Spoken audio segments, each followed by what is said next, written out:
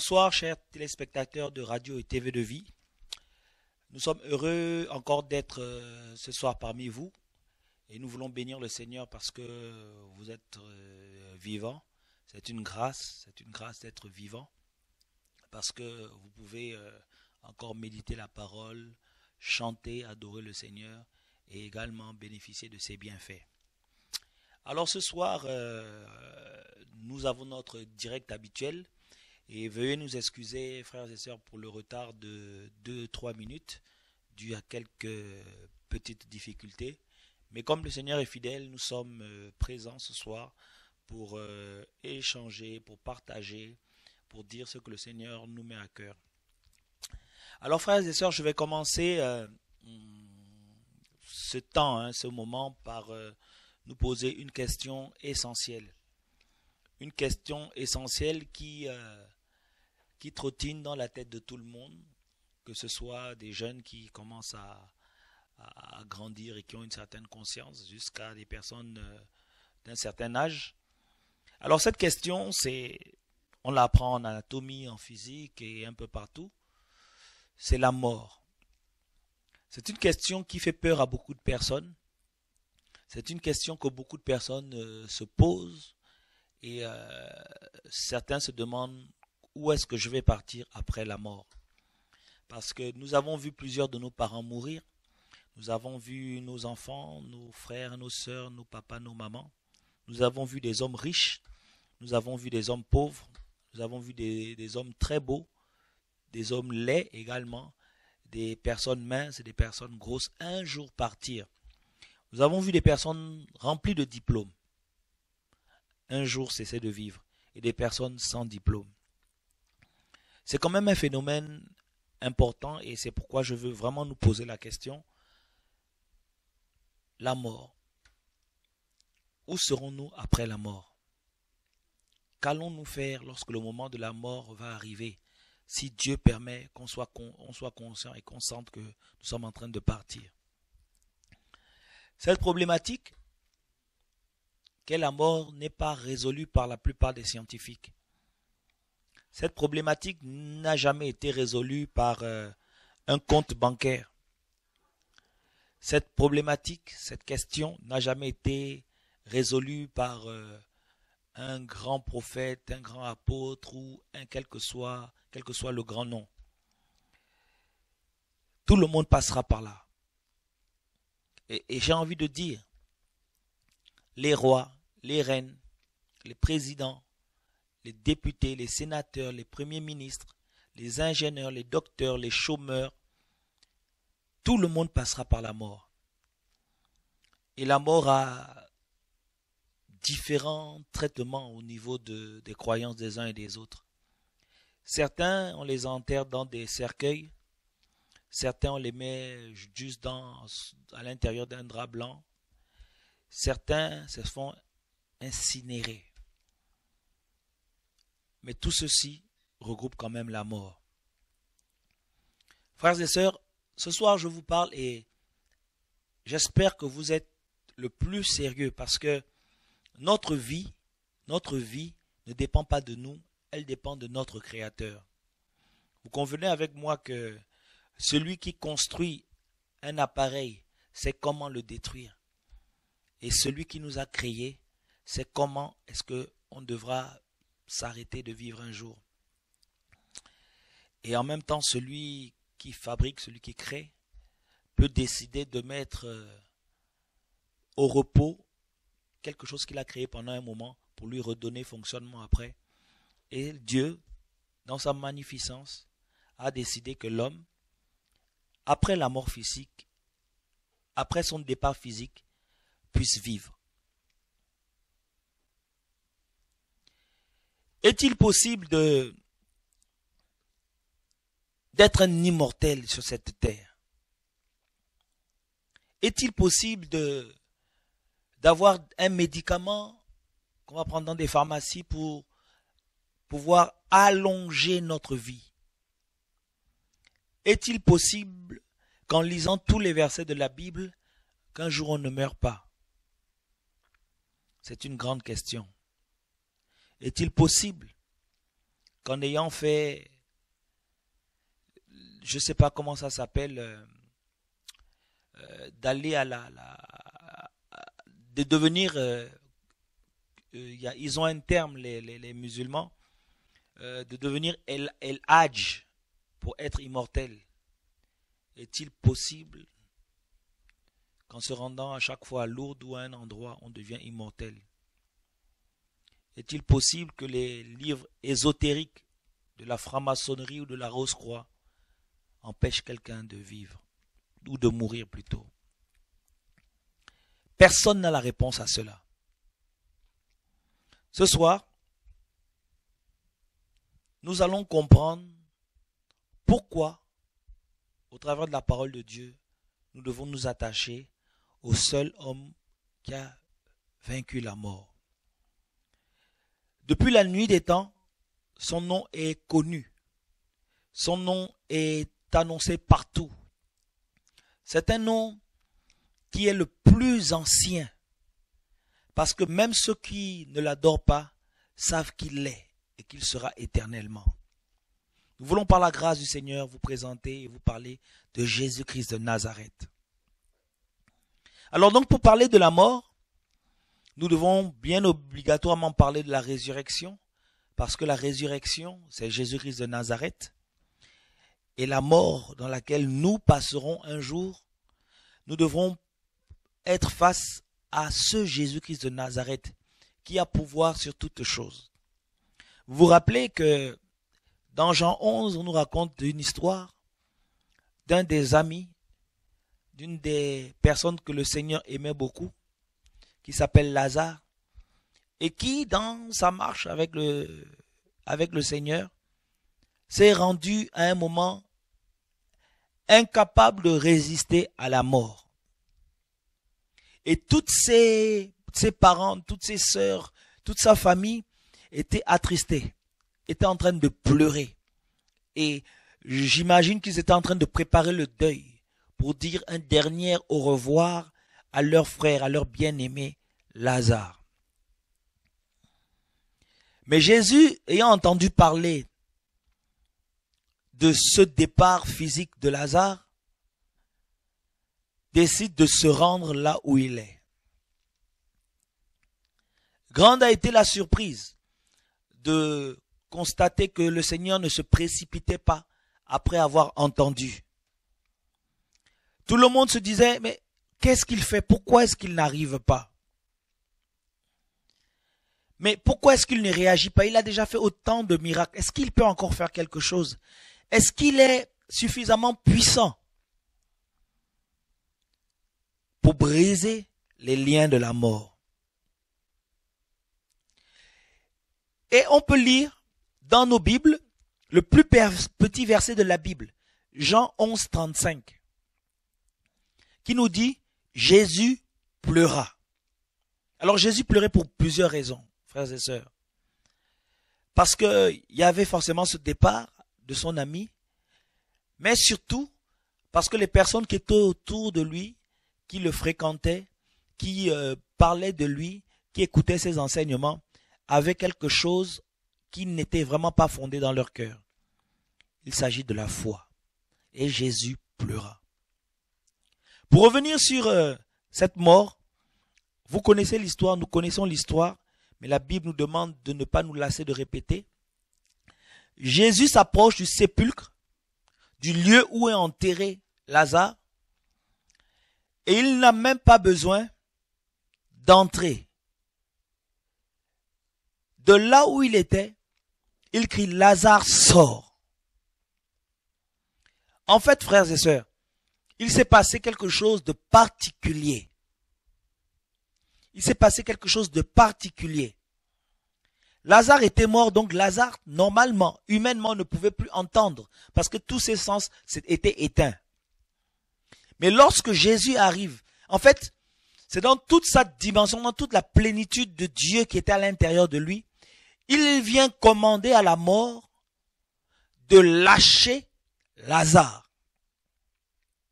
Frères et sœurs, c'est merveilleux.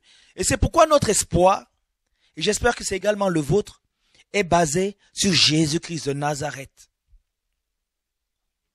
sur Jésus-Christ de Nazareth. Parce que c'est vrai que physiquement un jour on va s'arrêter. C'est vrai que peut-être que les appareils qui te tiennent en vie pour l'instant sont encore fonctionnels. Peut-être que les membres de ta famille n'ont pas suffisamment d'argent pour continuer à payer et ils s'apprêtent à débrancher ces appareils. Et en concertation entre eux, ils se disent, mais il va partir. Frères et sœurs, le départ de la chair n'est rien d'important. C'est pourquoi que tu sois sur un lit à l'hôpital, que tu sois encore en bonne santé, que tu sois marié ou célibataire, sache qu'un jour tu vas, tu vas mourir. Mais la grande question, c'est où est-ce que tu iras après? On l'a dit. Certaines sciences ésotériques font penser qu'après la mort, ils ont une autre vie, une sorte de réincarnation. Certains se disent ils vont revenir sous forme de chat, sous forme de, de, de brebis. Mais après la mort vient le jugement. Donc on devra tous passer devant un tribunal. C'est sûr que de là où nous sommes, de là où tu es, tu n'es jamais allé au tribunal. C'est vrai que tu n'as jamais été devant un juge. Mais un jour tu passeras devant un juge. Et sache que ce sera après la mort. Pour revenir à l'histoire de Lazare, Lazare est sorti. Et pour pouvoir avoir réveillé Lazare, il faut avoir vaincu la mort, il faut avoir pouvoir sur la mort. Et le seul qui a pouvoir sur la mort, c'est Jésus de Nazareth. C'est pourquoi nous ne pouvons pas nous lasser de vous dire, soyez amoureux, tombez amoureux de lui. Parce que non seulement il a vaincu la mort, et il va nous donner la capacité de vaincre la mort, parce que nous aurons la vie éternelle, mais il nous propose la vie éternelle avec lui. La vie éternelle avec lui, avec le Créateur. Et pour continuer mon propos, je vais, je vais lire un passage, un passage qui, euh, qui parle des hommes, qui parle des chrétiens, qui parle des hommes, des jeunes qui ont un jour entendu parler de l'évangile, qui ont un jour lu la Bible et qui ont une quelque pensée au niveau de Dieu. Aussi petite soit-elle, elle sait qu'on l'appelle Dieu. Alors, la Bible nous dit dans son dernier livre, le livre d'Apocalypse, qui veut simplement dire révélation, que l'apôtre Jean était sur une île il a été exilé, on l'a mis à l'écart parce qu'il vivait la persécution sur l'île de Patmos. Il a souffert sur cette île, il a été rejeté, il n'était plus avec euh, les autres apôtres, il était complètement excentré. Mais de là où il était, de là où il était, il continuait à adorer le Seigneur. Et vraiment, nous voulons comprendre que même en étant seul, nous pouvons recevoir toujours des choses du Seigneur. Et c'est donc étant loin qu'il commence à écrire l'Apocalypse, le livre des révélations, où le Seigneur se révèle à lui sous une autre forme. Et dans le chapitre 22, il dit des choses importantes. Il dit des choses essentielles pour nos vies, pour toi, mon frère, pour toi, ma sœur.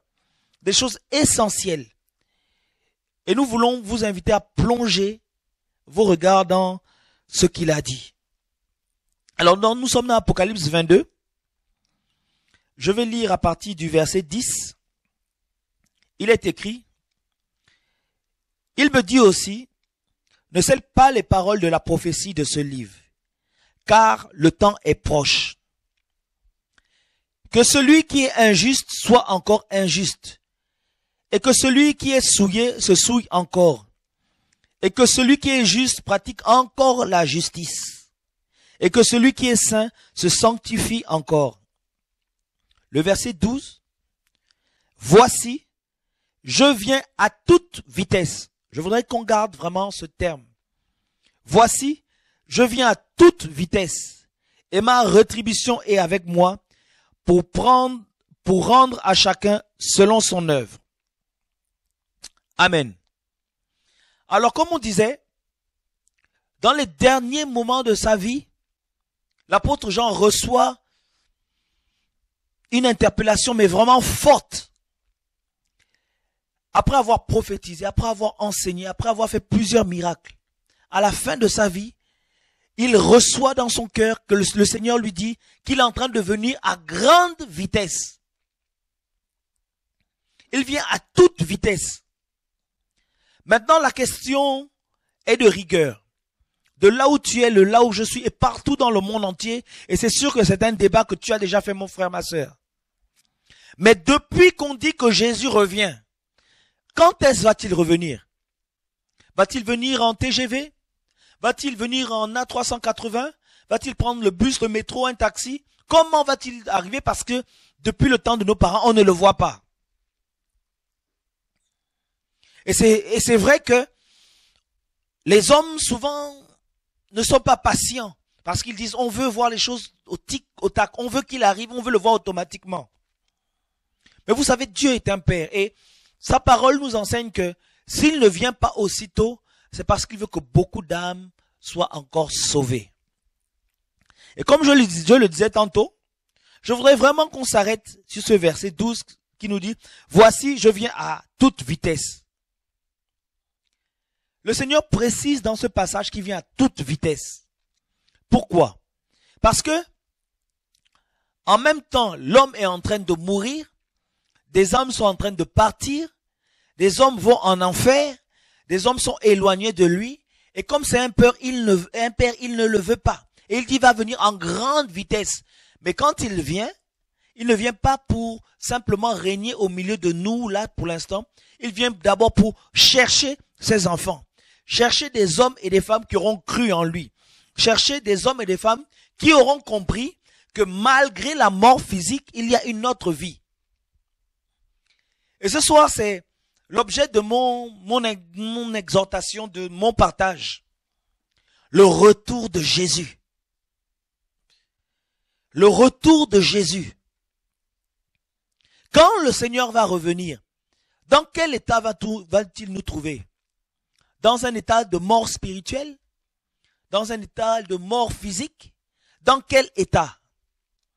C'est sûr que la Bible nous dit qu'au son de la trompette, des, certains des, élus, ces enfants vont monter. Ça, c'est dans le cas où certaines personnes, le Seigneur arrive là dans notre génération et qu'on est encore vivant, on est encore viable et qu'on monte avec lui. Mais il y a également le cas où le Seigneur revient et au son de la trompette, même les morts en Christ ressuscitent. Dans tous les cas, dans les deux cas, on devra être avec le Seigneur. Mais il y a la catégorie de personnes qui seront mortes physiquement sans Jésus et il y a la catégorie de personnes qui seront mortes spirituellement, c'est-à-dire qui n'auront jamais accepté Jésus dans leur vie.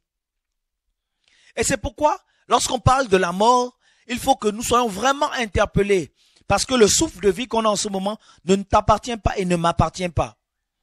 Aucun médecin, aucun agrégé, aucun professeur ne peut décider du nombre de jours qu'il te reste.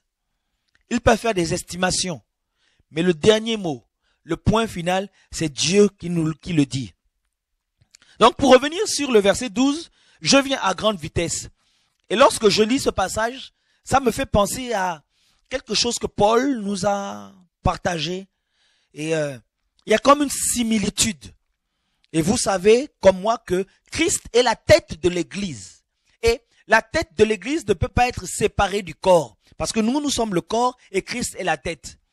Et nous allons voir que il n'y a pas de contradiction dans les messages que les serviteurs, que les apôtres du Seigneur ont reçus. Il y a à chaque fois une similitude. Le Seigneur vient à grande vitesse. Et que nous dit Paul par rapport à la vitesse? Que nous dit Paul par rapport à notre vie, nous chrétiens, nous enfants du Seigneur, nous qui voulons voir le Seigneur un jour dans nos vies? Qu'est-ce qu'il nous dit par rapport à la vitesse? Le Seigneur vient à grande vitesse, vraiment pour bien faire comprendre. Le Seigneur vient à grande vitesse parce que plusieurs sont en train de mourir. Et nous, les chrétiens également, qu'est-ce que Paul nous dit par rapport à la vitesse?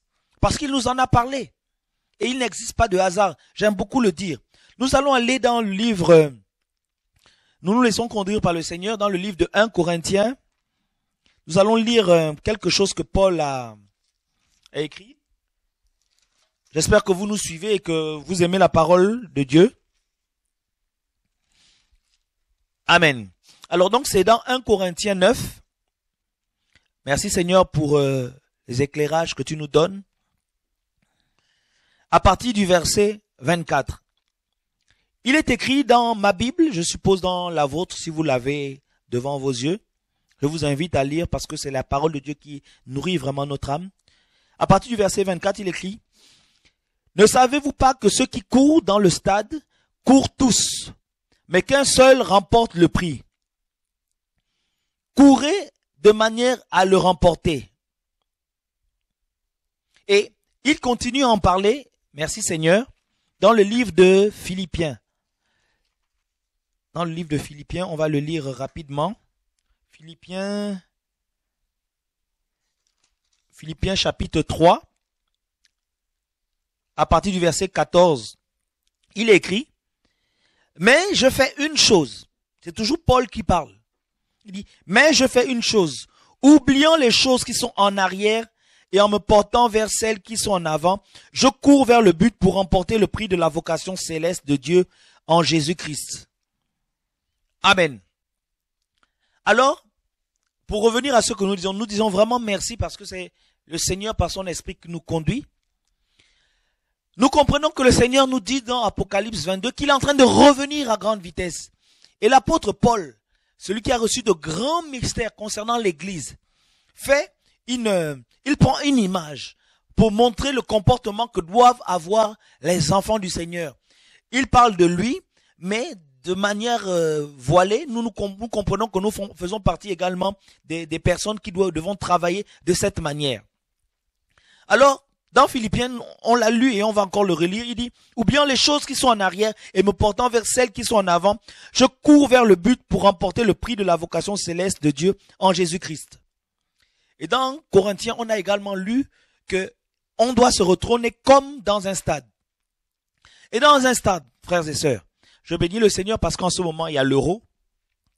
Et on voit plusieurs personnes sur un stade. Merci Seigneur parce que tu, tu nous orientes. Et cette image de l'euro qu'on voit en ce moment de tous ces footballeurs va nous aider à comprendre quelque chose. Tous ceux qui sont sur un stade, que ce soit à l'intérieur du stade ou ceux qui sont autour, donc pour les athlètes, ils ont une caractéristique, c'est que chacun doit aller vite. Mais chacun doit aller vite pour un but. Dans, sur le stade, chacun veut aller vite pour marquer un but. Pour ensuite se donner gloire, pour dire oui, victoire, on a gagné. Mais là, Paul parle de lui en tant qu'enfant de Seigneur. Il dit que nous devons courir comme étant dans un stade, c'est-à-dire qu'on doit aller vite. On ne doit pas regarder ce qui est en arrière, notre vie passée, avec les erreurs, avec les manquements, avec tout ce qu'on n'a pas pu faire. On doit aller vite. Pourquoi? Je veux vraiment qu'on comprenne parce que Christ est la tête de l'église et nous, nous sommes son corps. C'est pourquoi si vous voyez la tête venir à toute vitesse et le corps qui doit aller vite, c'est parce qu'il doit avoir un assemblage. J'espère qu'on se comprend. Il doit avoir un assemblage. Il doit avoir cette union, cette réunion, cette communion avec le Père céleste, du corps avec la tête. Donc nous devons aller vite. Nous devons aller vite. Pourquoi? Tout à l'heure, on a lu dans dans Apocalypse, on disait que le, temps, temps est proche. Le temps est proche. Donc le temps est en train d'arriver. C'est vrai qu'en général, on ne voit pas le temps passer, mais le temps est proche. C'est pourquoi nous devons aller très, très, très vite. Et il y a une caractéristique lorsqu'on court, lorsqu'on se trouve sur un stade à l'intérieur ou alors on fait de la course, c'est que toutes les personnes qui courent, qui vont vite, à un moment, ils vont se rendre compte à un niveau peut-être différent qu'il y a de la sueur sur leur corps. Alors, que peut représenter la sueur sur nos corps? Lorsque la sueur sort de nos corps, on comprend médicalement qu'il y a beaucoup de toxines, que la respiration devient meilleure, qu'il y a beaucoup de choses qu'on dégage. Et c'est comme ça que nous, chrétiens, nous devons être. Nous devons aller vite, nous devons avancer avec le Seigneur. Nous ne devons pas regarder en arrière comme l'autre. Vous vous rappelez? Il sortait parce qu'il avait reçu un ordre. Et l'ange lui disait, ne regarde pas en arrière, parce qu'en arrière, il y avait le péché, en arrière, il y avait la destruction, en arrière, il y avait tout ce qu'il devait oublier. C'est la même chose que Paul reprend, il nous dit que nous, nous, chrétiens, nous nous retrouvons comme dans un stade. Et nous ne devons pas regarder en arrière, mais nous devons courir pour remporter la vocation du prix céleste. Parce qu'il y a une couronne à remporter. Toi, mon frère, ma sœur, ta vie chrétienne, comment est-elle? Est-elle au ralenti? Où as-tu mis pause? Où as-tu décidé de faire, parce que c'est un mot un peu à la mode, de faire un break? Parce que tu te dis qu'en faisant le break, tu vas reprendre comme tu veux. Ou alors tu as décidé de faire comme un véhicule, de ne rouler qu'en troisième vitesse. Alors que tu peux aller en quatrième vitesse, en cinquième vitesse et en autre, ou alors en automatique. Toi, tu es un enfant de Dieu. Et ce que nous enseigne la parole par l'entremise de Paul, c'est que nous devons aller vite. Parce que les temps sont mauvais. Et pourquoi? Parce que nous avons quelque chose à récupérer. C'est une couronne. Le prix de la vocation céleste. C'est un prix important. Le jour de cette réunion avec le Seigneur, il faut qu'on soit tous présents.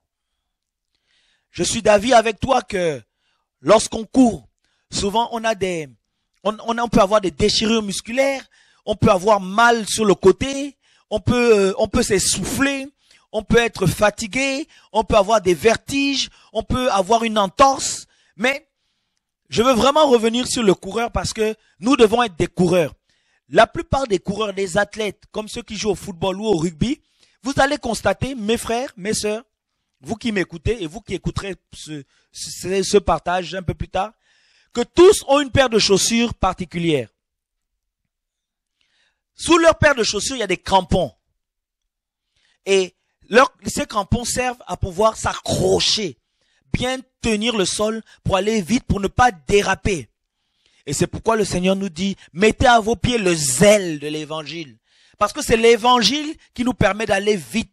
C'est l'évangile qui nous permet d'être connectés. C'est l'évangile qui nous permet de ne pas changer de chemin. C'est l'évangile qui nous permet d'aller tout droit vers le Seigneur. Et on ne doit pas changer de couloir. Ça, c'est pour les athlètes. Parce que l'athlète qui, au départ, attend le coup de sifflet ou le coup de pistolet, est accroupi, on dit un, deux et trois, il commence à courir. Il va vite. Et sur la ligne de la course, frères et sœurs, on est souvent plusieurs, on est souvent nombreux. J'espère que vous me saisissez. Je voudrais vraiment parler doucement pour que chacun puisse comprendre. Sur la ligne de course, on est souvent plusieurs, on est nombreux. Et chacun a son dossard, chacun a son orientation, chacun sait ce qu'il décide de venir faire dans le Seigneur, chacun sait ce qu'il va faire dans les assemblées, chacun sait ce qu'il fait dans le secret, chacun a son dossard, l'autre a le dossard 1, l'autre 70, l'autre 80, chacun a un dossard, chacun a, ses, chaussures de course avec des crampons, et chacun est à la ligne d'arrivée, à la ligne de départ. Et dès que ça, on tire, ou alors on dit une, deux et trois, tout le monde se met à courir. Mais pendant cette course, frères et sœurs, il y en a plusieurs qui abandonnent. Il y en a plusieurs qui ressentent des douleurs dans leur poitrine, sur le côté, qui commencent à avoir des vertiges et qui décident d'arrêter. Il y en a plusieurs qui disent, ah, les autres vont trop vite, je ne peux pas continuer avec eux, alors ils abandonnent. Certains simulent, certains simulent des entorses. Vous l'avez déjà vu. Ils sont, oh Jésus, aide-nous. Ils simulent des entorses pour dire qu'ils arrêtent parce qu'en fait, ils sentent qu'ils ne peuvent pas aller aussi vite. Il y a plusieurs choses qui se passent sur, le, sur, sur, les, stades, sur les lignes de course pour les athlètes. Et l'athlète que tu es, mon frère, l'athlète que je suis, ma sœur, nous devons nous préparer, comme font les athlètes avant de venir à une compétition. Ils doivent s'entraîner. Ils doivent faire des efforts physiques. Ils doivent être concentrés. Ils doivent avoir une alimentation. Ils doivent avoir une concentration. Pour toi, ça va être différent. Tu dois avoir, oui, quelque chose d'autre. Ça veut dire la méditation de la parole de Dieu, la présence de Dieu, l'amour pour le Seigneur, la vie de sainteté, la vie de rigueur et abandonner le péché. Sinon, sur la route, sur la ligne, tu vas t'étouffer et tu ne pourras pas atteindre la ligne finale. Parce qu'à la ligne finale, nous l'avons lu, il y a le prix de la vocation céleste. À la ligne finale, il y a celui qui vient également en grande vitesse. Parce que c'est quand lui il arrive et quand nous on arrive qu'on se retrouve ensemble. Il reconnaîtra ses enfants, il reconnaîtra ses filles, il reconnaîtra, ses hommes qui auront persisté, qui auront persévéré jusqu'à la fin. C'est pourquoi Paul nous dit qu'il faut persévérer. Et lui-même il dit, j'ai combattu le bon combat de la foi jusqu'à la fin. Parce que la course n'est pas forcément facile. Parce que pendant la course, il y a certains qui abandonnent. Et ces personnes qui abandonnent, cette image, en fait, c'est la mort. Et c'est là où je voulais en venir. Et ces athlètes qui sont sur la ligne et qui commencent à courir, au départ, ils courent bien. Et au lieu de rester dans leur couloir, ils changent de couloir. Ils sont en train de mourir. Et c'est catastrophique en ce moment dans le monde. C'est catastrophique en ce moment dans le milieu chrétien évangélique. On voit plusieurs personnes qui ont changé de couloir. Au lieu d'être dans le couloir de la vérité, de l'amour, de la franchise, de l'honnêteté, on trouve des personnes qui sont devenues menteurs, escrocs, cupides. Ils ont changé de couloir. Et pourtant, vous direz, nous étions tous à la ligne de départ. Qu'est-ce qui s'est passé? Se sont-ils bien préparés dans le secret? Ou se sont-ils restés juste à la ligne de départ, juste pour un but? D'autres, c'est juste le but de se mettre à la ligne et quand ils commencent à courir, à courir, tout le monde les voit sur la ligne. On dit, oui, il est fort, vas-y, vas-y, vas-y. Frères et sœurs, je nous en supplie que le Seigneur nous aide à comprendre. Vraiment que dans nos cœurs, on ait vraiment cette image d'être des chrétiens sur cette ligne, prêts à courir prêt à aller très vite, prêt à atteindre la ligne. Parce qu'à la ligne, il y a quelqu'un qui a un, un, drapeau, un drapeau et qui va dire, tu es arrivé. Bon, bienvenue dans la maison du Seigneur, dans le royaume du Seigneur. Pas la maison du Seigneur qu'on dit ici, les bâtiments. Non, ça ce n'est rien qu'une maison en briques ou en terre battue ou en maison recyclée. Et, frères et sœurs, comme je disais, certains courent ils courent et ils ont vraiment envie de courir. Ils sont vraiment déterminés. Ils ont envie d'atteindre le, but. Mais ils sont découragés par qui? Ou alors ils sont déconcentrés par qui? Je vais vous...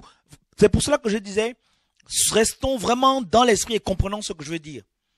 Donc ces personnes qui ont au départ envie de courir, ils vont être découragés par qui? Par les téléspectateurs.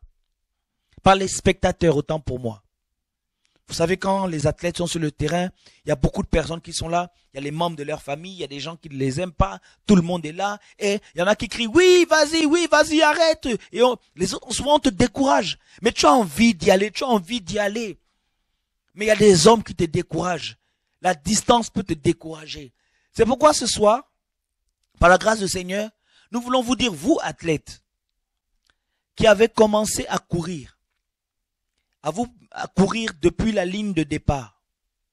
Et vous vous êtes senti fatigué à un moment, pour ne pas que vous puissiez mourir, la seule chose que vous devez faire, c'est relever la tête et regarder vers le Seigneur. Pourquoi? Parce que comme il est différent des courses humaines, des, des, des, des, des comment est-ce que je pourrais dire, des, de toutes les compétitions qu'on a ici, lui, toutes les personnes qui vont arriver vont avoir un prix. C'est pourquoi si tu t'es découragé, mon frère, ma soeur, si à un moment tu as senti que ta vie, tu as pris un, tu as pris beaucoup de recul, tu as fait un break, mais malgré, malgré le break, la pause que tu as faite, ça ne marche toujours pas. Alors relève la tête vers lui et reprends la course. Mais lorsque tu reprends la course, reste sur le chemin qui est tracé devant toi. Ferme tes oreilles et ne sois pas distrait par les personnes qui vont t'appeler, qui vont te donner des conseils à gauche et à droite, parce que tu vas être complètement distrait. C'est la course, mon frère. Et nous sommes des athlètes. Et nous devons avoir de bonnes chaussures. Ces chaussures-là doivent avoir des crampons qui ne doivent pas s'user facilement. Je dirais même qu'ils ne doivent pas s'user. Parce que nous devons être prêts. Nous devons faire ce choix de choisir quelle paire de chaussures, quelle paire de crampons je dois avoir parce que les crampons là, c'est celles qui doivent être enracinés dans la terre. Et ces crampons, c'est comme l'image de la parole qu'on doit recevoir dans nos cœurs, qui doivent être bien enracinés dans nos cœurs. Comme ça, lorsqu'on court, malgré le vent, malgré la pluie, malgré tout ce qui pourra se, se dire ou se faire, on va continuer à foncer.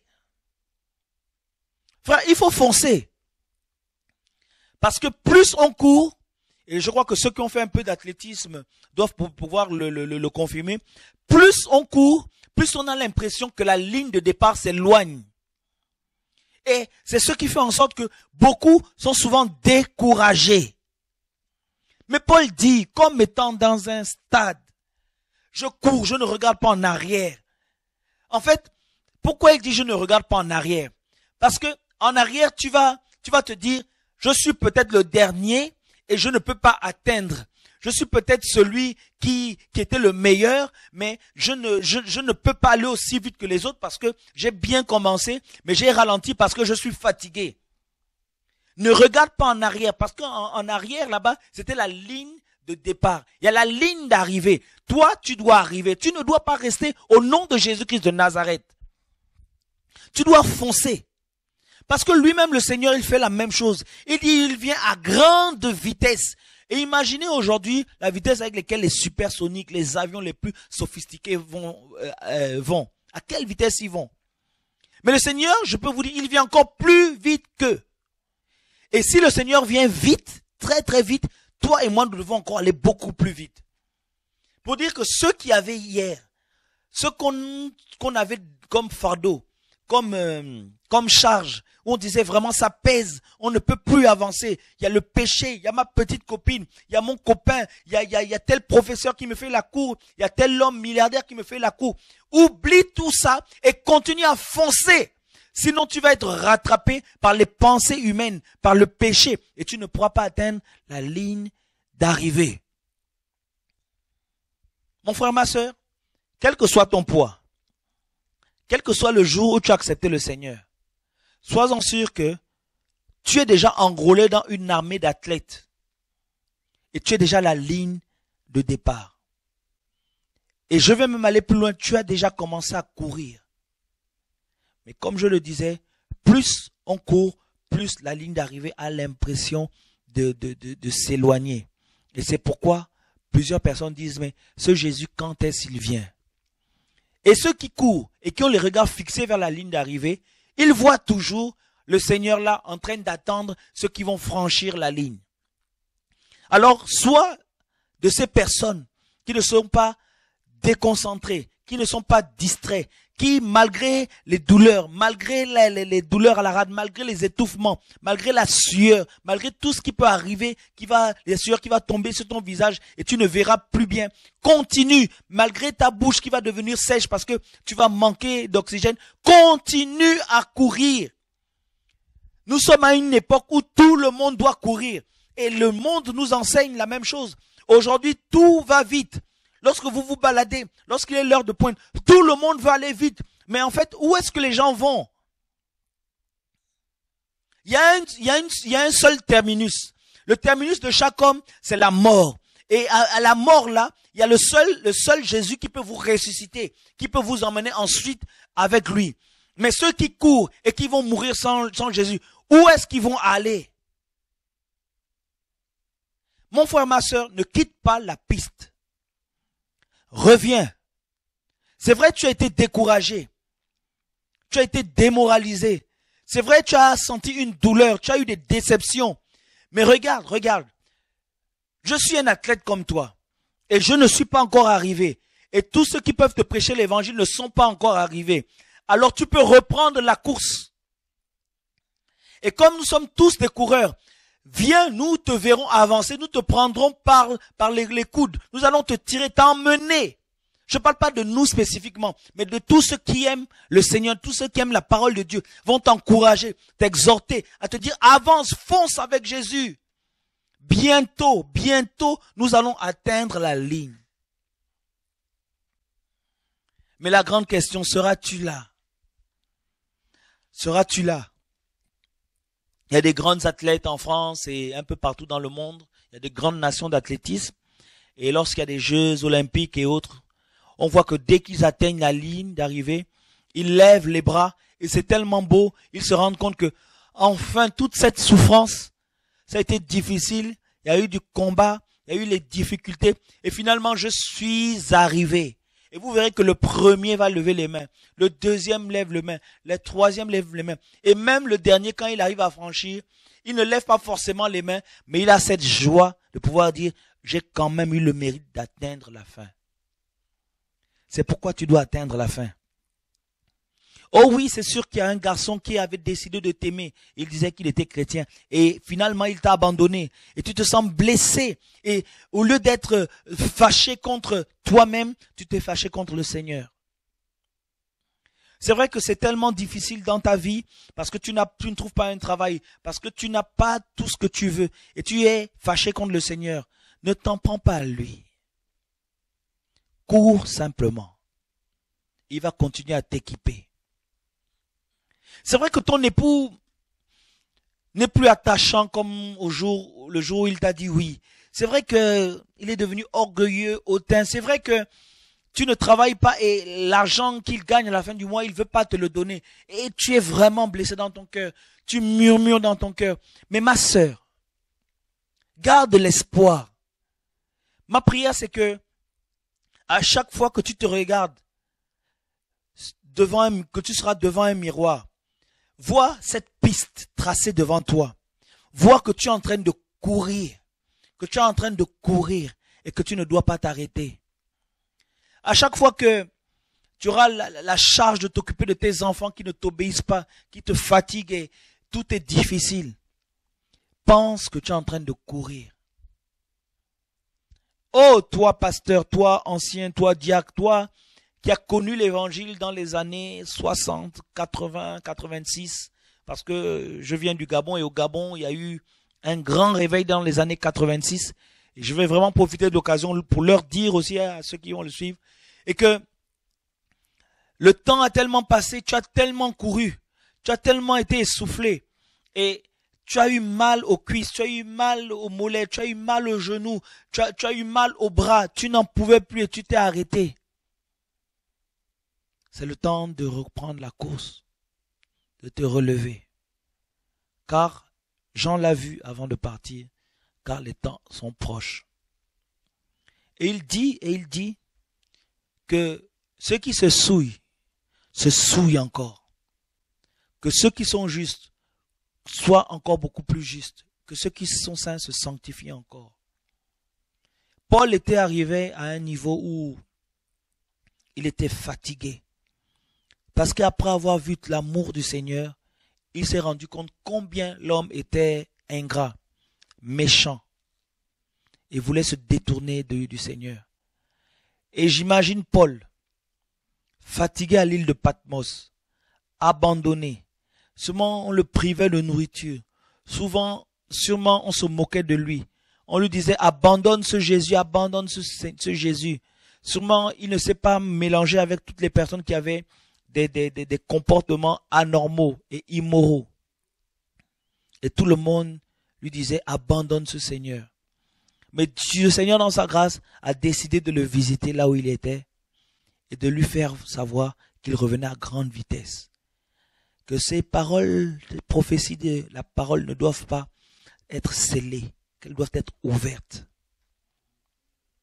Et vraiment, mon frère, ma soeur, si tu es dans une situation difficile, si tu as besoin de soutien dans la prière, sois-en sûr qu'il y a des saints qui prient pour toi.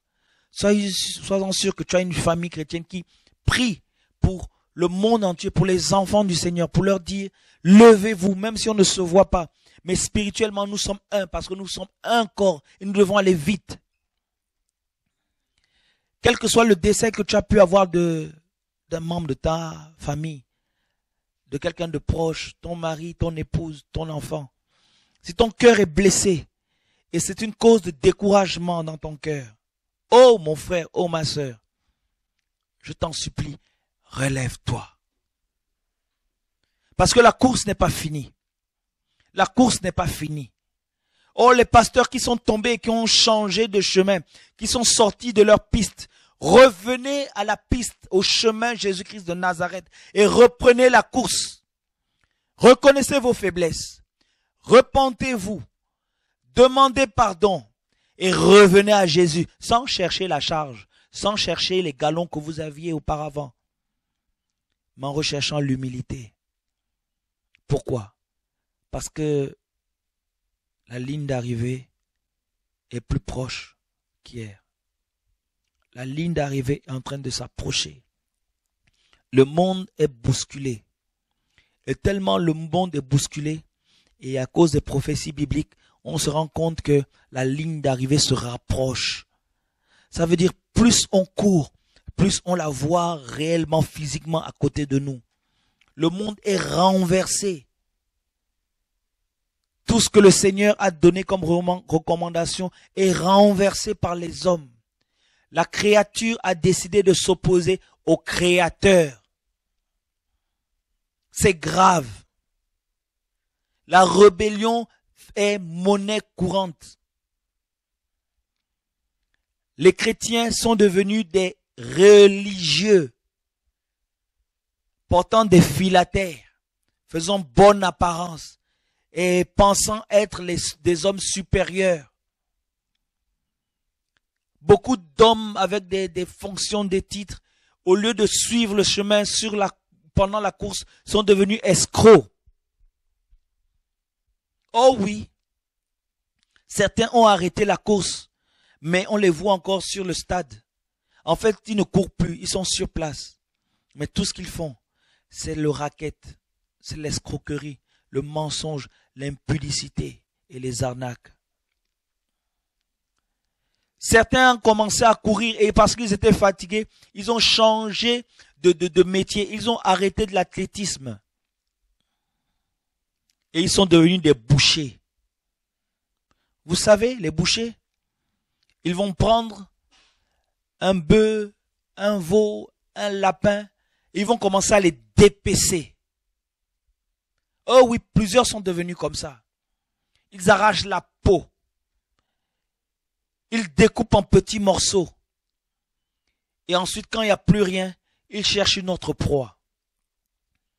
Ça, ce sont des hommes qui sont sur le stade mais qui sont en pause, ils sont en break et ils sont morts. Ils ont besoin du souffle de vie. C'est-à-dire qu'étant tellement fatigués, il faut un nouveau souffle de vie pour qu'ils puissent se repentir. S'ils restent dans leur situation, c'est l'enfer. Je le disais hier à une sœur, qu'il y a plusieurs personnes qui sont en train d'aller en enfer en première classe. En première classe, ils sont en train de partir et à la tête desquels beaucoup de pasteurs, beaucoup d'évangélistes, beaucoup de personnes qui ont les titres en Europe, en Afrique, en Amérique et partout. Mon frère, ils ont abandonné la course. Je peux même te dire qu'ils ont arraché leur dossard. Et j'irai même plus loin, ils ont enlevé les chaussures qu'ils avaient avec les crampons. Certains ont encore les chaussures, mais les crampons sont usés.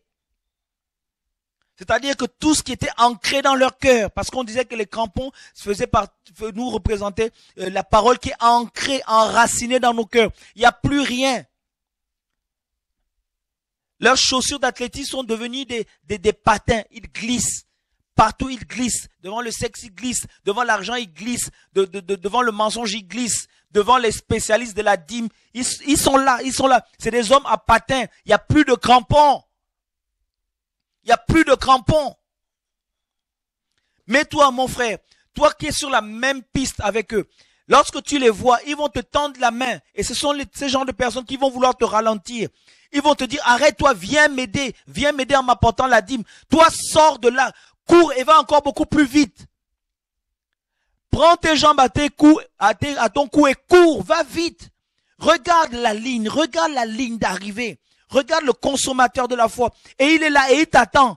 Et il est en train de t'encourager. Et il est en train de t'encourager. Parce que vous savez, nous, nous sommes entourés d'une telle nuée de témoins. Et parmi cette nuée-là, il y a, les, les anges qui sont là. En même temps, tu cours, ils t'encouragent. Ils t'encouragent. Quand tu es malade, ils te guérissent. Quand tu es fatigué, ils te donnent de la force et te disent, vas-y. Certains vont te retenir.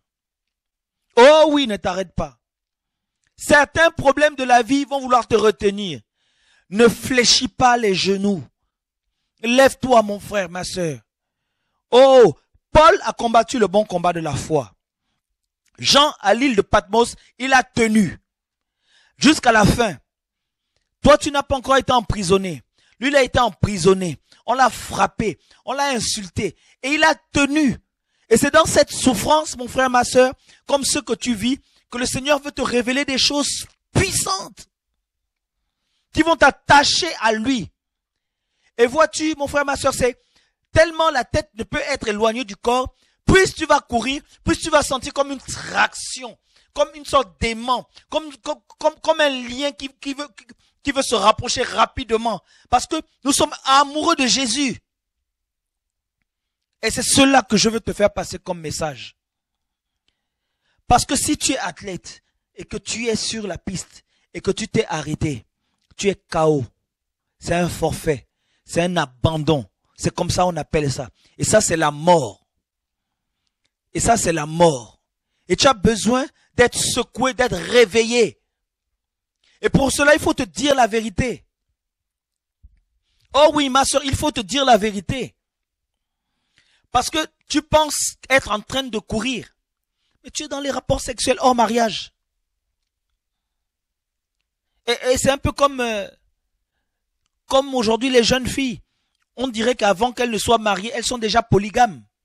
On va dire, ça c'est Madame Sébastien, Madame Claude, Madame Thierry, Madame Ludovic, Madame... Euh, mais à la fin, c'est Madame qui Dites-moi à la fin, c'est Madame qui Parce que quand euh, Serge abandonne, l'union le, se casse, elle va chercher Claude. Claude se fâche, ça devient Madame Yves. Et c'est comme ça qu'elles sont. Et toi aujourd'hui, ma soeur, tu es dans des rapports sexuels hors mariage. Tu n'es pas marié. Mais si cet homme t'aime, pourquoi ne cherche-t-il pas à t'honorer? Pourquoi ne veut-il pas faire les choses officiellement? Pourquoi veux-tu te garder dans cet état d'esclavage? Mais malgré ça, tu lis la Bible. Tu le sais? Malgré ça, tu es venu ici et tu as demandé une BJC. Tu te rappelles? Ce soir, le radar du Seigneur est sur toi. Et tu dis que tu n'arrives pas à sortir de cette situation. Le Seigneur te donne un avertissement, sors de là. Il te connaît. Et il veut que tu puisses reprendre la course. Mais pour la reprendre, il faut abandonner le péché. Remets tes chaussures, le zèle de l'évangile. L'évangile qui est la sainteté, la pureté. Le Seigneur revient à grande vitesse. Dans quel état seras-tu, mon frère, ma soeur Seras-tu toujours dans la drogue? Parce que même si tu es vivant physiquement, tu es mort si tu es un drogué. Vas-tu continuer à tricher à l'école? Parce que si tu es dans cette situation, tu es mort même si tu es vivant. Pasteur, apôtre, bishop, archibishop, dans quel état seras-tu quand Jésus va revenir? Car il vient à grande vitesse. Tu sais que le TGV ne, va pas aussi vite, il revient. Dans quel état seras-tu? Abandonne tes faiblesses. Abandonne ton péché et reviens à lui. Tu as recommencé à boire, tu as recommencé à fumer, tu as recommencé à discuter avec des filles sur Skype, tu as recommencé à regarder sur le net le porno, les films érotiques, tu as recommencé cela. Mais qu'est-ce qui s'est passé? Toi qui prêchais l'évangile aux prostituées, tu es reparti, tu es devenu leur client number one. Number one.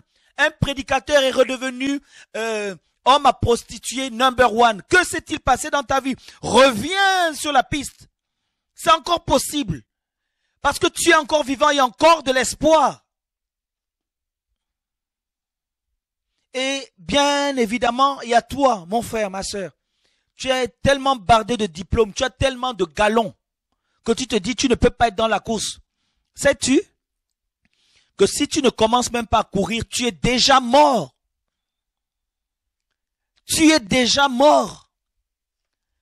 Tu as tu as beau commander plusieurs hommes, tu as beau, diriger, plusieurs hommes, tu as beau être dans des, lieux de les, sectes ésotériques, tu as beau être dans la Rose-Croix, tu as beau lire tous ces livres, tu as beau être dans le Lions Club, dans la franc-maçonnerie, tu es mort, tu es mort. Ceux que, ceux qui, ceux qui te disent qu'ils sont tes fratères là, ils sont en train de te mentir. Ils sont en train de te mentir. Sors de là. Le Seigneur t'aime. Et c'est pourquoi il veut t'interpeller. Viens, viens, je veux t'emmener à la course. Viens, mon frère, viens, courons ensemble. Viens, tu as besoin de Jésus. Tu as besoin de dégager toutes les toxines que tu as dans ton, dans ton corps là. Tu as besoin d'être guéri, d'être restauré. Viens, abandonne cela. Comment veux-tu faire avec cette femme mariée? Mais elle est mariée, mon frère.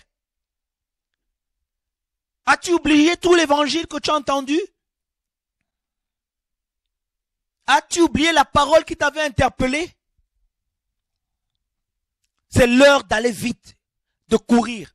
Paul a dit, j'ai combattu. Pourquoi? Parce que ce n'est pas facile.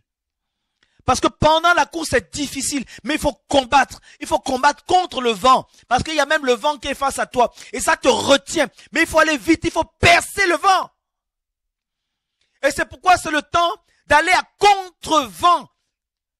Parce qu'il y a des vagues, il y a les marées, il y a des obstacles, tout cela qui se présente devant nous. Il faut aller vite, il faut esquiver, il faut sauter les obstacles, il faut se dire je fonce, je fonce. Même si on t'appelle par derrière, même si on te siffle par derrière, même si on te dit que euh, tu as perdu quelque chose, mon frère, ma soeur, fonce! Parce que derrière, il y a la mort qui te guette. Il y a la mort qui veut te mettre le grappin dessus. Il y a le péché. Il y a l'amour de l'argent. Il y a l'amour du sexe. Il y a l'amour de la masturbation. Il y a l'amour de la connaissance humaine. Ça veut te rattraper. Fonce! Jésus, aide-nous. C'est-à-dire, aide-nous ce soir. Aide toutes les personnes qui vont suivre cela. Parce que nous ne devons pas mourir. Nous ne devons pas mourir. Nous devons le voir. Il dit, il vient à grande vitesse. Ne veux-tu pas voir la tête de l'église? Ne veux-tu pas voir le Machia, le Dieu véritable? Ne veux-tu pas voir le créateur du ciel et de la terre? Attendez, on a vu les créateurs de Renault, les gens qui ont fabriqué Renault. On a vu ceux qui ont fait Apple. On a vu ceux qui ont fait Windows. On a vu ceux qui ont fait de grands ordinateurs. On a vu tout ce qu'ils ont créé. On a vu tout ce qu'ils ont fabriqué. On a vu tout ça. Mais, mon frère, ma soeur, tous ces hommes, un jour, One day, ils sont morts. Et s'ils n'ont pas connu le Seigneur, c'est terminé. C'est terminé. Mon frère, ils ne pourront plus utiliser leur carte bancaire. C'est fini. C'est fini. Tout l'argent dans leur compte en banque là. Tu sais ce, qui va se passer? Des personnes vont se battre, se dire, bon, moi je vais prendre temps, je vais prendre temps. Et puis finalement, ils vont décider, bon, comme il y a trop de discussions, on va donner cet héritage à un petit chiot. Toi, tu n'auras rien. Mais toi, tu es vivant. Tu as de l'argent, tu n'as pas d'argent, tu es riche, tu es pauvre. Cours vers Jésus-Christ de Nazareth, je t'en supplie. Plusieurs personnes ont voulu se mettre sur la ligne d'arrivée, sur la ligne de départ, tu sais. Plusieurs prophètes ont essayé, des prophètes que les hommes ont élevés, ils n'ont pas arrivé, ils n'ont même pas fait deux mètres. Parce qu'il y avait trop de poids sur eux, ils étaient trop, ils étaient trop beaux. Ils ne pouvaient pas porter les mêmes chaussures que les autres. Ils ne pouvaient pas avoir les mêmes tenues. Tu le sais? Sur la même ligne, il y a eu Bouddha. Mais lui, au lieu d'avancer, il a reculé. Est-ce que tu le sais? Il y a eu Mahomet, il s'est mis sur la ligne, mais quand il a commencé, quelque chose l'a tiré vers l'arrière. Il n'a pas pu avancer. Toi, avance, tu peux encore avancer. Ouh. Tu peux encore avancer. C'est le temps de courir. C'est le temps de s'échapper du monde et du péché. De sortir de toutes ces situations humaines qui nous enracinent, qui fixent nos yeux, qui sont devenus comme des ordinateurs. Sur les téléphones, sur les télévisions, il n'y a que ça. Sois concentré ce soir, je t'en supplie. Le Seigneur veut faire quelque chose dans ta vie. Le Seigneur veut faire quelque chose dans nos vies. Toutes les persécutions que tu as au travail, c'est pour te ralentir. Pour que tu te décourages. Pour que tu recommences à voler, à tricher et à murmurer dans ton cœur. Prends tout cela, arrache, arrache, déterre, oh, jette, brise et fonce. Tu penses que c'est le fait d'être accordé avec un frère et avec un frère que tu es en train de courir? Regarde. Ta vie de prière a diminué. Ta vie de méditation a diminué. Tu t'es plus attaché à l'homme qu'à Dieu. En fait, lorsqu'on a dit à vos marques préparez, tu n'as même pas pu te lever.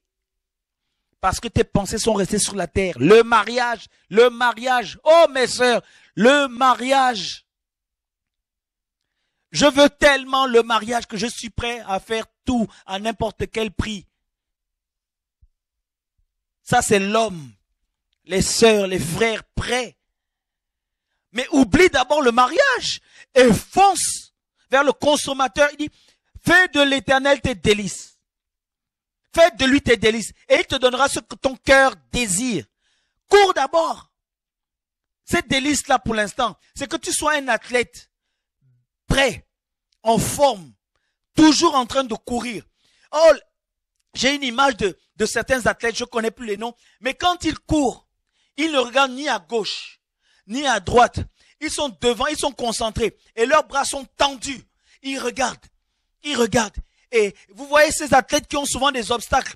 Ils viennent et Dieu leur donne, euh, ils ont le discernement de voir l'obstacle et à distance ils commencent à tendre le pied et ils esquivent l'obstacle. C'est ce que tu dois faire. C'est cela. Parce que si tu n'es pas sur la ligne d'arrivée, si tu t'es mis sur la ligne si tu n'es pas sur la ligne de départ et que tu t'es arrêté en pleine piste, tu es mort ou tu es en train de mourir. Et ton créateur est là, à la ligne d'arrivée, et il te regarde. Il dit, mais qu'est-ce qu'il fait? Qu'est-ce qu'il fait? Et comme Dieu est bon, Dieu est un Père, il dit à d'autres membres du corps, d'autres coureurs, parle, crie, crie. Et tu vas voir d'autres membres du corps qui sont en train de courir, qui te disent, allons-y, allons-y, réveille-toi, réveille-toi, courons, courons, courons. N'abandonne pas, n'abandonne pas, n'abandonne pas.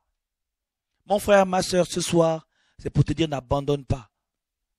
Parce qu'il y a la mort. Où seras-tu quand le Seigneur va revenir? Seras-tu toujours euh, en position de pause? Auras-tu changé de chemin, toi athlète que tu es? Ou seras-tu resté sur la ligne d'arrivée? Nous te conseillons par rapport à la parole du Seigneur. Cours. Fais comme ton aîné. Paul. Continue à courir. Ce ne sera pas forcément facile, mais continue seulement à courir. Parce que celui qui est la tête vient à grande vitesse. N'oublie pas, tu es sur un stade. Et il y a deux catégories de personnes qui te regardent. Des personnes qui vont t'encourager et d'autres qui vont te décourager. Mais toi, continue à avancer. Tu trouveras des personnes sur la piste de course, certains qui vont vouloir te ralentir, te dire aide-moi, te dire fais, fais-moi ceci, cela. Ne suis pas cela. Fonce. Parce que le Seigneur t'attend. C'est ce que j'ai voulu partager ce soir et je ne sais pas si on peut prendre euh, deux coups de fil des personnes qui vivent des situations concernant ce que je viens de partager, qui veulent appeler, qui veulent dire quelque chose et qui veulent simplement peut-être se repentir. Vous êtes libre de le faire. Mais nous voulons vraiment, vraiment vous encourager.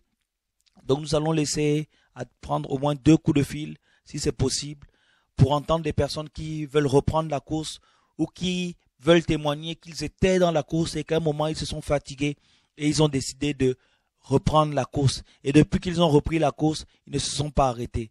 C'est vraiment ce type de témoignage qui vont encourager les uns et les autres, ceux qui vont suivre l'émission, pour faire comprendre et faire savoir qu'à un moment, effectivement, on peut se fatiguer.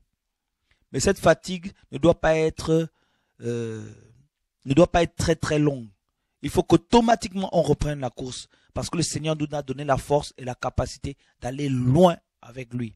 Et il ne veut pas qu'on s'arrête. Et nous voyons nos aînés qui étaient, qui ont fait la course et qui sont arrivés, qui continuent à arriver. Comme Paul dit, j'ai combattu le bon combat de la foi. Il dit, c'est, on doit courir pour pouvoir remporter le prix de la vocation céleste. C'est une vocation céleste dans les cieux. Ouh là là, certains ont des médailles et on leur met ça sur le cou. Imagine toi ta couronne. Imagine ta belle couronne.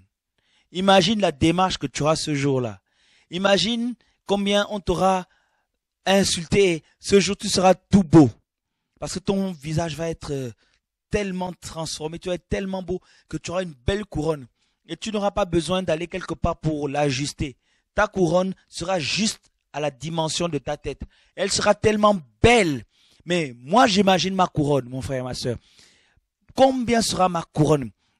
Quand je vais l'ajuster, j'imagine quand on va me la poser sur la tête par la grâce du Seigneur et que je vais la toucher. Je vais chercher un miroir partout pour dire, ah, je veux voir ma couronne. Je veux voir ma couronne. Elle sera tellement belle. Je serai tellement fier de moi. C'est vrai, on peut être fier de soi quand on réussit le master 1, master 2 ou bien l'agrégation.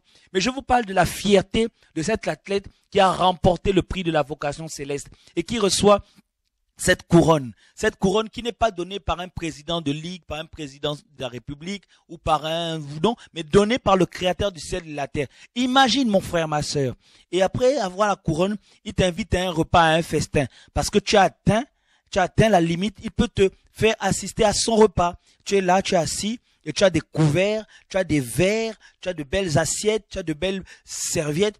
Et sur chaque, chaque, euh, chaque, chacun, chacun de tes instruments, il a mentionné ton nom. Alors moi, j'imagine sur, sur mon, sur euh, mon couteau, il y aura marqué Alain, bon appétit de la part de Jésus. Sur mon verre, sur mon assiette, sur ma pochette. C'est, c'est, on sera tellement beau, tellement beau, et on va bien manger des mets.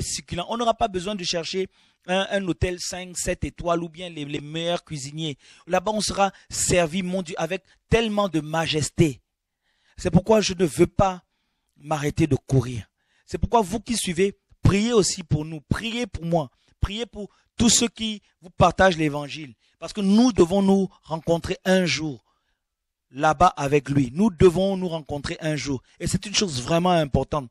Vraiment, soyez encouragés, soyez fortifiés. C'est vraiment ce que j'ai voulu partager ce soir pour que tu puisses te relever.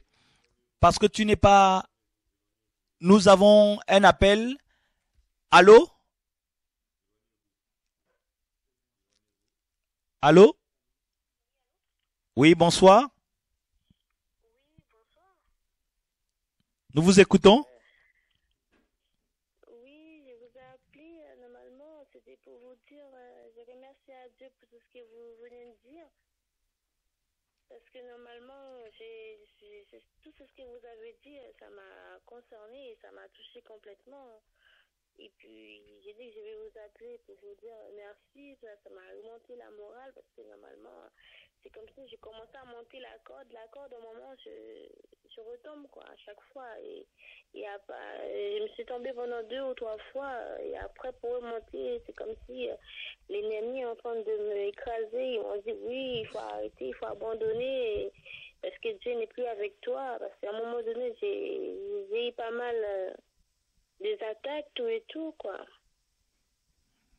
D'accord. En tout cas, ma sœur, euh, nous bénissons le Seigneur pour ton appel et pour ta participation. Vraiment, tiens ferme. Je sais, c'est pas facile. Je sais que il y a souvent des difficultés et la chair ne veut pas faire plus d'efforts.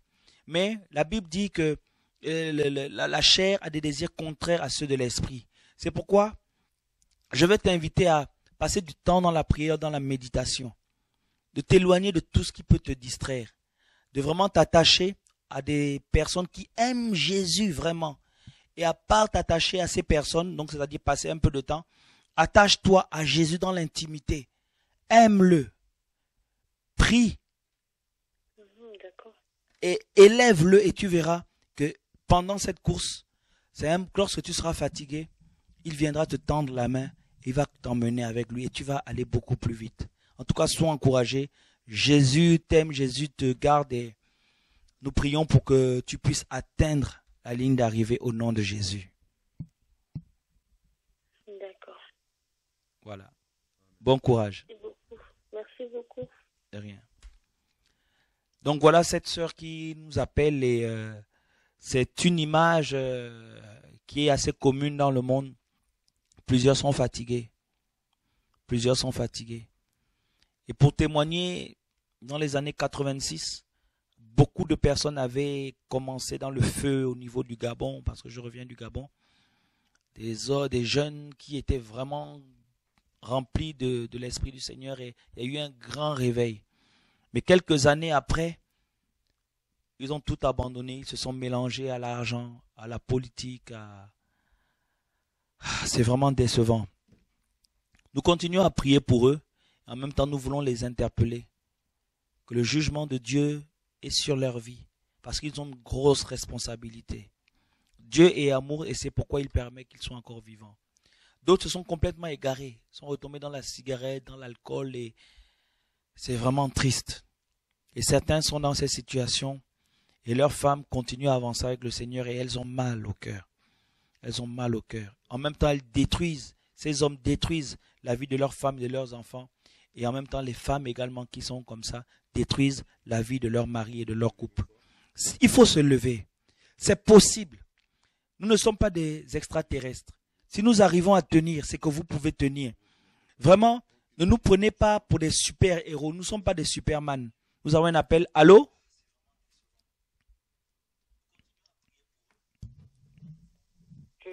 Bonne santé. Allô? Je suis malade. D'accord. Donc, je ne sais pas si euh, je peux vous exposer mon état de santé pour que vous puissiez prier pour moi. D'accord. Vous souffrez de quoi, madame?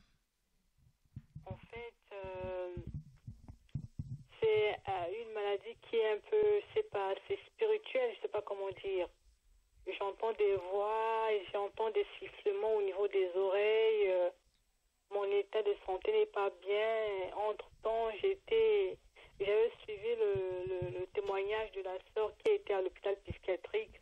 D'accord. À peu près comme son cas, quoi. J'ai été à l'hôpital euh, psychiatrique. Euh, on me dit que c'est la schizophrénie, mais moi, je ne crois pas à ça. Donc, j'aimerais bien que vous puissiez prier pour moi. J'entends des voix, des sifflements au niveau des oreilles. Je suis fatiguée, je suis pas en bonne santé, je ne suis pas d'une bonne santé, quoi. Des grassements au niveau des oreilles, euh, la fatigue. Euh. donc, euh, je ne sais pas si le, frère Choura peut prier pour moi, me faire une délivrance, quoi. Je ne vis pas à Paris, je vis en Normandie, à Rouen exactement. D'accord. Alors, euh, nous avons entendu votre requête. Euh, vous êtes chrétienne, je suppose Je suis chrétienne, baptisée, oui. D'accord. Euh, je, veux vous poser une question en direct et c'est bien parce que je crois que vous êtes franche. Y a-t-il quelqu'un avec qui vous êtes vraiment en conflit? Vous vous parlez plus depuis un bon moment Comment? Y a-t-il quelqu'un avec qui vous êtes en conflit et vous vous parlez plus depuis un moment? Non, j'ai pas de, de conflit avec. D'accord. Tout va bien? Tout va bien. Tout va bien. D'accord. Alors, vous avez demandé que un frère puisse prier pour vous, mais ma, ma soeur, tu vois, euh, le monde et les enseignements qu'on a reçus de certains hommes nous font penser qu'il n'y a qu'une seule personne qui peut prier pour nous pour qu'on soit délivré. Et euh, c'est ce qui fait en sorte que souvent on élève des hommes alors que la guérison, la délivrance, c'est le Seigneur qui l'opère. Je bénis le Seigneur parce que vous êtes chrétienne et euh, je crois que vous aimez le Seigneur. Nous allons simplement prier pour vous, euh, mais c'est vraiment un cas exceptionnel, hein, vraiment parce que bon, je ressens moi dans mon cœur que vous avez appelé, vous avez besoin de cela. Le cas dans lequel on demandait d'appeler, c'était par rapport au, partage. mais vous, la parole, oui. Voilà. Il est vers la fin, donc. Euh, voilà. C'est vraiment, je suis dépassée, je suis dépassée. D'accord. J'aurais même voulu que ça soit pendant que le frère Chora fait la, comment on appelle ça, la parole, pour qu'il puisse lui-même prier pour moi, faire la délivrance, quoi. D'accord. Comme euh, il n'est pas là, je ne sais pas si... Donc, comme il n'est pas là, vous voulez pas qu'on prie pour vous? Non, c'est pas ce que je dis. D'accord. Vous êtes dans le besoin. D'accord. Oui. Vous êtes marié? Non, Vous n'avez pas de petit copain de... je suis pas mariée, mais j'ai un petit copain. Vous avez des rapports sexuels hors mariage, donc?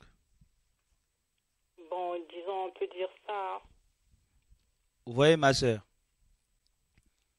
ce que les hommes veulent, c'est la guérison charnelle. Mais ils ne veulent pas la guérison de l'âme. Donc tout ce que j'ai dit auparavant, là, vous n'avez rien compris. Vous ne demandez pas d'être délivré du péché, mais vous demandez la guérison charnelle. Et c'est pour cela qu'on vous escroque. Comment veux-tu... euh, Je, je réponds à ta question en même temps, je veux parler à plusieurs personnes. Comment veux-tu, comment voulez-vous être guéri alors que vous êtes dans le péché? Ça fait près de 45 minutes, une heure de temps qu'on parle du péché, mais vous venez exposer une situation de la chair. Mais vous êtes vraiment ce type de... Et, et je crois que c'est Dieu aussi qui a permis, permis que vous appelez pour qu'on expose tout cela. Vous êtes ce genre d'athlète qui est sur le terrain, mais vous êtes en pause en fait. J'ai pas, pas dormi cette nuit-là. Oui, mais vous n'avez pas dormi cette nuit-là, mais lorsque vous avez les rapports sexuels hors mariage, vous dormez. Et ça, c'est le péché. Il faut sortir de là. Nous ne sommes pas. Il y y a sûrement des voyants, des marabouts, des ngangas, ou alors des hommes qui vont vous demander de l'argent. Nous, vous savez qu'on ne demande pas d'argent. C'est gratuit. On prêche l'évangile pour que vous puissiez être sauvés. Vous vous parlez des voix. Mais comment ne voulez-vous pas entendre les voix, les démons et tous les démons de vos familles si vous ne voulez pas sortir du péché? Vous voulez que vous allez voir le pape, vous allez voir Mahatma Gandhi, vous allez voir toutes ces personnes. Vous ne serez jamais délivrés parce que c'est la parole qui délivre. Ma soeur, c'est la parole qui délivre. Et nous sommes vraiment dans ce temps. On vous dit, on nous dit Jésus revient. Nous on dit non, moi je veux d'abord être guéri, je veux plus entendre les voix. Bon, si on prie pour toi et que tu n'entends plus les voix, tu continues dans le péché. Mais tu vas plus, ce sera plus les, les voix que tu vas entendre. Tu vas entendre les, les, les, les, grondements de démons. Parce que quand un esprit sort, il va chercher et il revient, il trouve que l'endroit est vide, il revient et il va chercher cet esprit plus méchant et il vient habiter. Si c'est des voix, petites voix que tu entends, tu vas entendre les voix des démons. Ma soeur, tu vas entendre les voix des démons.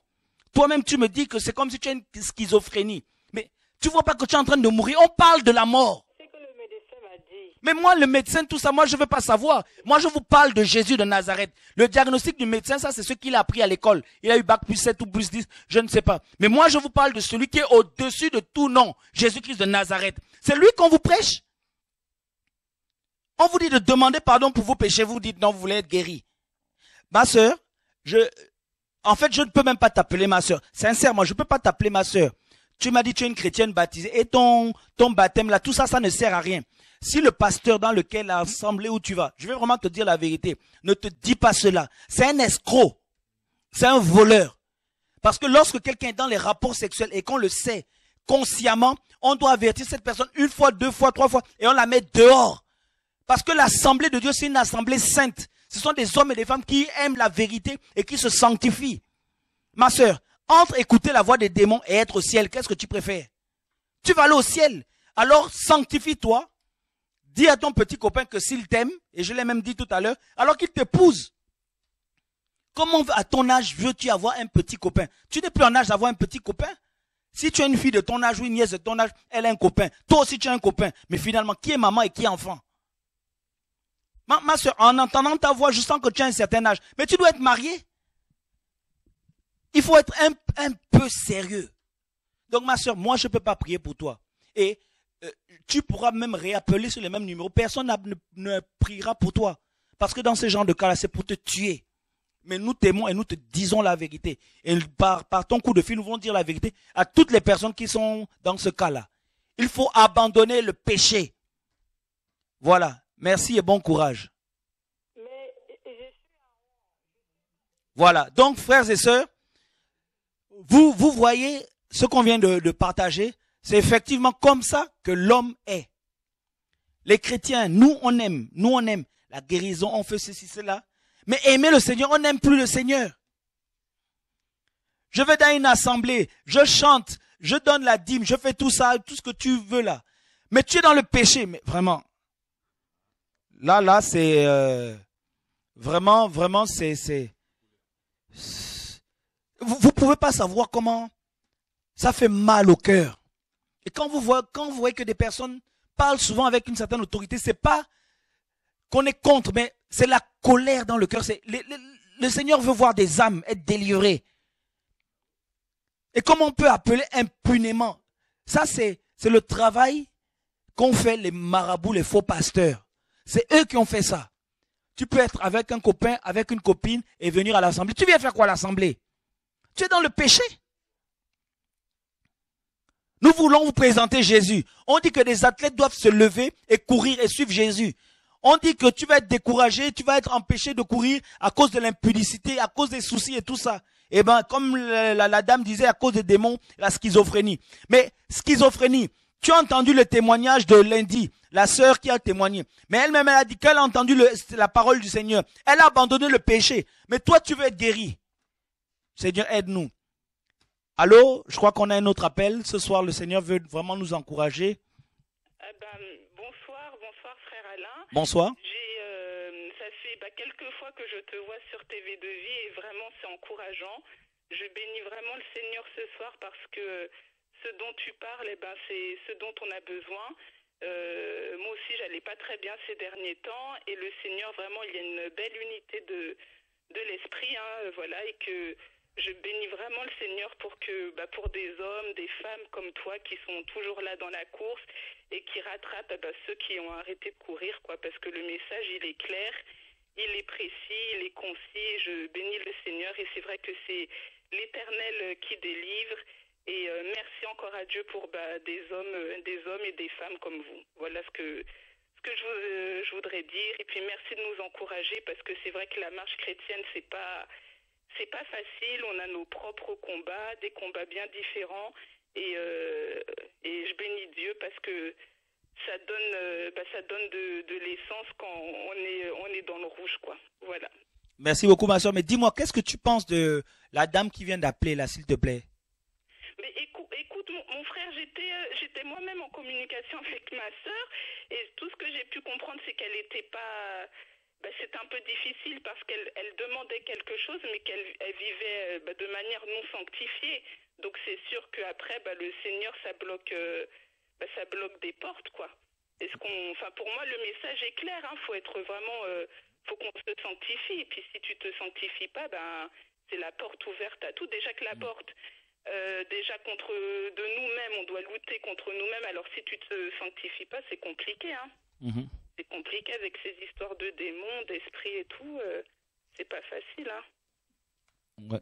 En tout cas, merci beaucoup, euh, ma soeur. Vraiment, c'est encourageant de. Ah bah, c'est vraiment, je non mais vraiment, Alain, je bénis, je bénis le Seigneur parce que moi, ma vie, elle a changé. C'est vrai qu'il y a quelque temps, euh, il y a quelque temps, même il y a encore peut-être cinq heures, je disais au Seigneur, c'est trop dur, je veux abandonner. J'ai une sœur, heureusement, qui m'a encouragée, qui m'a dit c'est comme ça et tout. Et vraiment, je bénis, je bénis, je bénis le Seigneur parce que vraiment, là, ça va mieux. Après, c'est vrai qu'il va falloir que je me... Parce que c'est vrai, l'ennemi, il rôde autour de nous comme, euh, comme un lion rugissant, comme un loup qui cherche à dévorer des proies. Et puis nous, les femmes, on est, enfin, on est la proie aussi préférée de, de l'ennemi. On le voit avec euh, Adam et Ève, hein, euh, mhm. concrètement. Et c'est pas c'est pas évident. Mais après j'ai dit au Seigneur aide-moi, parle-moi, aide-moi. J'ai pas envie de tomber. Maintenant c'est trop tard. Maintenant que j'ai connu la vérité, où est-ce que je peux aller? Puis c'est vrai, où irions-nous? Où irais-je? Comment je peux faire? Et même des fois, j'ai envie d'abandonner. Tout à l'heure, tu parlais même de la musique du monde, des choses comme ça. Oh non, c'est quand j'ai regardé le 25 juin, voilà, samedi. La musique du monde. Moi, j'ai un mari qui n'est pas encore converti. Je sais que voilà, il faut que je sois un bon témoignage pour mon mari, pour ma famille qui est dans la religion.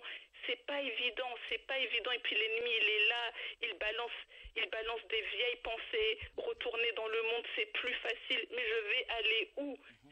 S'il m'arrive quelque chose, je vais faire comment? Comment je vais faire? Je peux regarder qu'au Seigneur et dire, et la parole elle est claire, c'est Yahweh, c'est Yahweh, c'est Dieu qui délivre, c'est personne d'autre. Après le Seigneur, il a des, il a des serviteurs et puis gloire à son nom. Merci pour ces serviteurs là. Mais après, où, où est-ce qu'on va aller? On va retourner, comme tu dis, dans la cigarette, dans l'alcool, dans les boîtes, dans, la fornication, se dire, ah oui, j'ai envie d'un mari, euh, et l'autre, parce qu'elle elle a du mal à attendre son mari, elle va aller voir n'importe quel homme, ne pas attendre la promesse du Seigneur et puis avoir des problèmes, encore empirer les choses alors que tu as connu la vérité, alors qu'on a connu des choses vraiment glorieuses, on a connu ce réveil. Il y, a, des hommes comme toi, comme Shora, comme, je sais pas, il y a plein d'hommes derrière tout ça qui combattent, qui combattent pour nous, qui combattent pour les âmes. On a besoin, on a besoin parce que vous êtes vraiment des serviteurs de l'éternel. Et vraiment, je bénis le Seigneur parce que moi, j'allais mal, j'allais mal.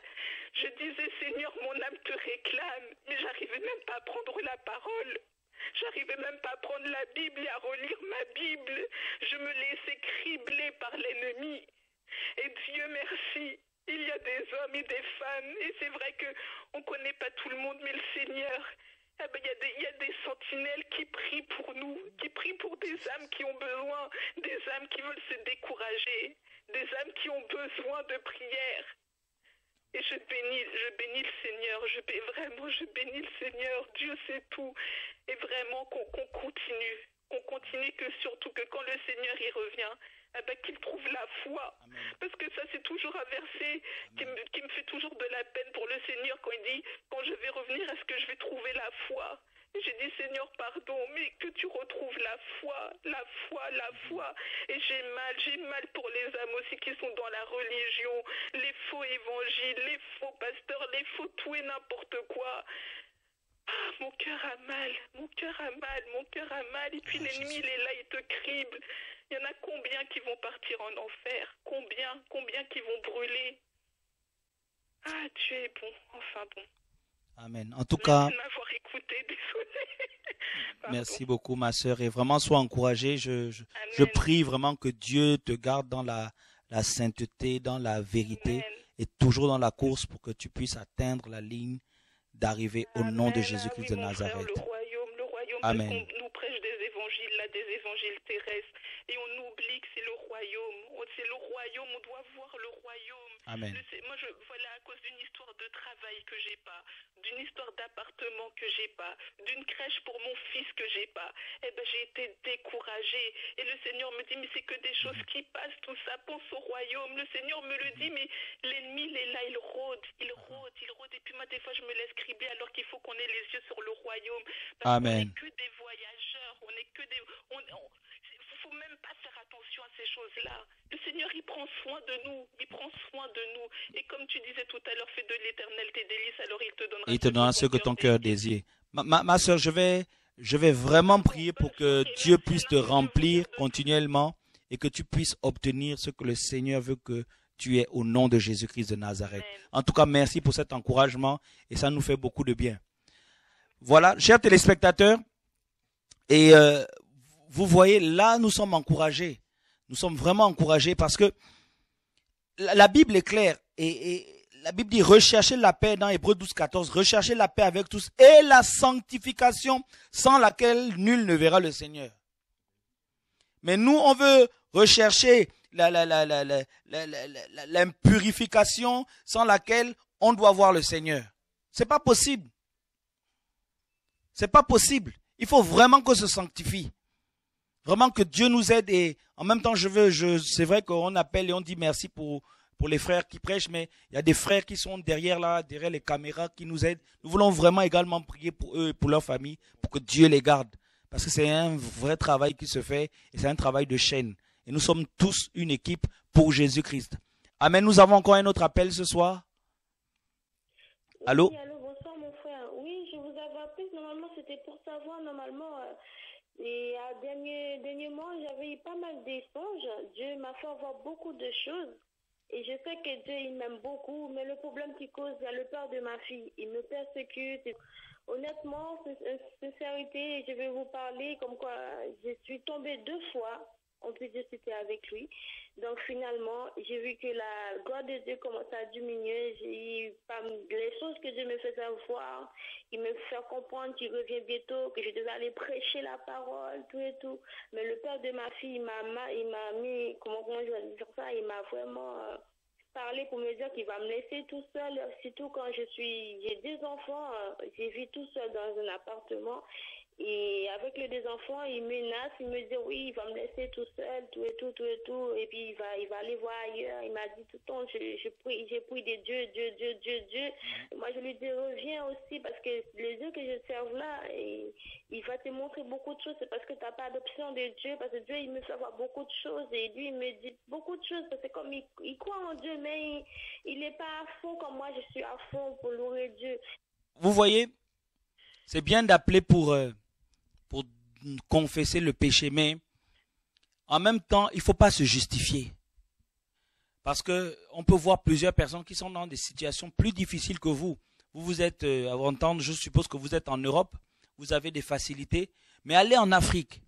Et euh, je crois que c'était vendredi, il y a eu des, des, des émissions sur la Syrie, sur la RDC, sur la Centrafrique. Et là-bas, vous pouvez voir, il y a des chrétiens, des chrétiens qui aiment le Seigneur. Et c'est difficile pour se soigner, c'est difficile pour se nourrir et pour se loger. Mais si là-bas dans ces pays ou ailleurs il y a des femmes qui sont seules et qui tiennent avec les enfants, vous, vous n'avez pas de raison pour ne pas tenir. Parce que Jésus est bon. Donc, quel que soit ce qui va se présenter, la pression du père de vos enfants, et puis le Seigneur, vraiment, il conduit les choses. Je parlais également de ça tout à l'heure. C'est à vous de tenir. Parce qu'il ne peut pas accepter le Seigneur si vous-même vous passez votre temps à tomber. C'est bien de vous repentir, mais relevez-vous, confessez votre, votre, péché devant le Seigneur et allez de l'avant. Vraiment que le Seigneur vous, vous encourage.